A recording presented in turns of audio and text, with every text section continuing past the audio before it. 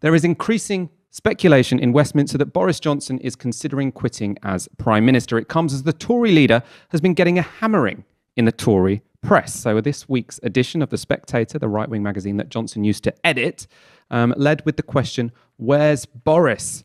on their front page this week. So, Fraser Nelson writing about a government at sea. Um, in The Sun, True Blue Tony Parsons has described our Covid testing system as the greatest national humiliation since Suez. And so that was this weekend. And the Times, like The Sun, owned by Rupert Murdoch, has suggested in a recent leader that there are growing doubts about whether the PM is up for the job. This is not the praise that Johnson craves and that which he is used to. Um, but details, it's, you know, it's not just that we can speculate, oh, he doesn't like headlines, so he's considering resigning. There are sources quite close to Boris Johnson who says that this could actually be on the horizon. So I want to go to a, another story in the Times, um, this one sort of detailing why people around Boris Johnson have doubts that he really wants to do the job. So the headline is Overburdened, Underpaid, and Misery on His Face. Boris Johnson gets the blues. The subheading Weighed down by the pandemic and personal issues, the Prime Minister is appearing ever more downbeat. And so this article interviews, you know, a bunch of people close to Boris Johnson who are all throwing doubts on the idea that one, he's up for the job, and two, he really wants to do it. So one of the one of the sources is a bunch of Tory MPs who had a meeting with Boris Johnson last Wednesday. So this was when they were sort of hammering out how Boris Johnson was going to get through the internal market, get through, get the internal market bill through um, Parliament. They ended up agreeing that whenever the party was going to break international law, Westminster would have to vote on it. Anyway, of that meeting, um, the Times write. The normally ebullient Mr. Johnson, for whom joking, cajoling, and backslapping, if it were allowed, is the default form of political operation, seemed unusually serious, even somber. He just seemed subdued. He was engaged, but he certainly wasn't as lively as you'd expect, said one of those there. You can speculate does that go back to the illness? Is it the weight of responsibility? Or is it maybe just a recognition that he's not always very well briefed on things? Most likely, it's some combination of all of those. Um, so there's this idea, you know, he's not really up to it. Um, but there is a more eyebrow raising concern which was put in there from a friend of Boris Johnson. Let's get this one up. Those in contact with the Prime Minister, both friends and colleagues, say he is finding aspects of the job extraordinarily tough. They are concerned that Mr. Johnson's long standing tendency for dark moods is being exacerbated by the pressure he is under. On the personal front, they say Mr. Johnson, 56, is worried and complaining about money. He is still supporting to different degrees four out of his six children, has been through an expensive divorce, and had his income drop by more than half as a result of fulfilling his lifetime ambition. And finally, this is the killer quote. This is the one he, he didn't want um, the, the country to be reading on the pages of Saturday's newspapers. As one friend put it, Boris, like other prime ministers, is very, very badly served. He doesn't have a housekeeper. He has a single cleaner, and they're worried about being able to afford a nanny.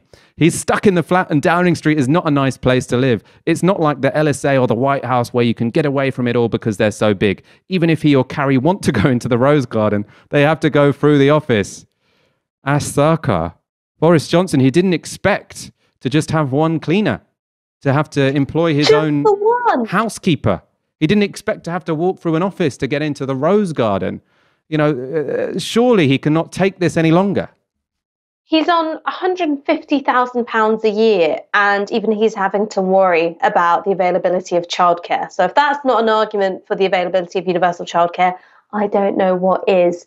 Um, I mean, look, Boris Johnson always wanted to be prime minister that didn't mean that he necessarily wanted to have to govern. This has been the story of his political career from the very start.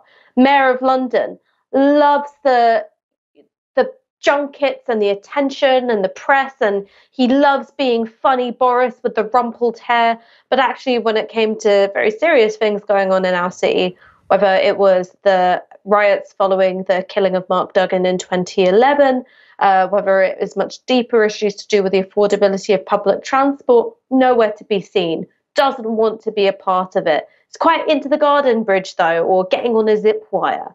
Um, he's fundamentally an unserious person who's driven by narcissism and a pathological desire to occupy the spotlight. And I've got this is just me speculating. I think it's got a lot to do with how he was raised. The Johnsons are an absolutely abominable clan, can't stand a single one of them. And I doubt that that was a particularly healthy environment to grow up in. Ash. I was going to say more about uh, his whinging about having to support four out of his six kids. Uh, if you're struggling to do that on £150,000, imagine how tough it is being on universal credit, where there is a two child limit for the recipient of uh, the child benefit portion of your universal credit. I mean, if he hadn't been, if he hadn't gone to Eton, if he hadn't risen up the Conservative Party, he would be the kind of person who'd be, you know, they'd be screaming about on the front of the Daily Mail. This man complaining that he does not have enough money to pay for his six children. They'd be outraged. I don't, I don't think there should be outrage. I don't think we should moralise necessarily about these things. But there is a bit of a double standard here. I suppose just to close on that Boris Johnson story. I mean, it's the kind of story that can only be written about someone who doesn't really believe in anything, right? Because you can imagine, you know, if, if Jeremy Corbyn became prime minister, he wouldn't be considering resigning because he doesn't have enough money for a nanny or a housekeeper or because he has to go through into a garden to, you know, he has to go through an office to get into a garden. The only reason you can imagine Jeremy Corbyn resigning is if he thought that his position, his role there, was not the the position he could take, which was most likely to bring about the kind of social change in Britain that he wants to see. There was a political project, and his career was a means to an end to achieve it. Whereas with Boris Johnson, he's been at the front line of public life for decades. He's risen to the to the role of, of prime minister, and still, no one can really say what he believes in. And I do find that quite phenomenal, you know, to get so far in politics without having an obvious project. And no one in that article, I recommend you do read it. It's quite entertaining, even if some of it's quite ridiculous. No one in that article is saying the reason Boris Johnson is considering resigning is because he thinks he's already achieved what he wanted to achieve, or he thinks that he's not the best person to take forward his particular project, because he doesn't have any project whatsoever. The guy became prime minister because he's an egotist and he wanted to, you know, say he got the top job after leading the Oxford Union. He went on to become prime minister and sitting 10 Downing Street. And now it's not as entertaining as he thought it would be. He wants to resign. Politics doesn't seem to come into it at all because the guy doesn't give a damn. Anyway, I don't think we should rest our hopes on the idea that Boris Johnson is going to resign purely because you know he doesn't have a, a, housekeeper and a nanny and has to walk through an office to go into the garden. I think probably we are going to have to tolerate this man for well, potentially up to four years. I think probably most of it, potentially even more.